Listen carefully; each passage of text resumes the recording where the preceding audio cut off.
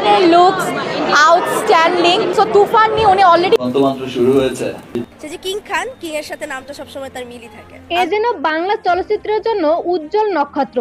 মাত্র সিনেমার এক ঝলক দেখেই দেশ সহ বিদেশে করছে রাজত্ব।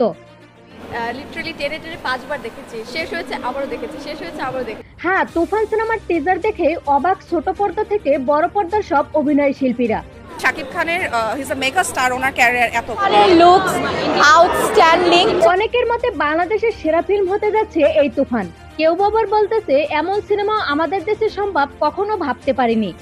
সাকিবের সাথে আমার বাস্তবে এত সুন্দর সুন্দর কাজ আমাদের মানে উপহার দিচ্ছে। আবার কেউ বলে একমাত্র সুপারস্টার শাকিব খানের দ্বারাই সম্ভব এত বড় ধামাকা দেওয়া। শাকিব খানের যে টিজারটা বের হয়েছে। নায়ক থেকে গায়ক ছোট পর্দা কিংবা বড় পর্দার চারদিকে শুধু এখন তুফানের প্রশংসা। আগের শাকিব খান আর এখনকার শাকিব খান আসলে টোটালি ডিফারেন্ট অন্যদিকে পরিচালক রায়হান রাফি বলেন মাত্র তো আমরা এক ঝলক দেখিয়েছি এখন আসল খেলা বাকি। ঝলক ঝলক মানে কোনো মানে ঝড় শুরুই হয়নি। আশা করি এই সিনেমা আমাদের বাংলা ফিল্ম ইন্ডাস্ট্রিকে পাল্টে দিবে। আমার কাছে মনে হয় এটা তুফানের মতোই হিট হবে। তো viewers, আপনারও কি মনে হয় এই সিনেমাটি এখন পর্যন্ত দেশের সেরা সিনেমা হবে? জানিয়ে দিন কমেন্ট করে।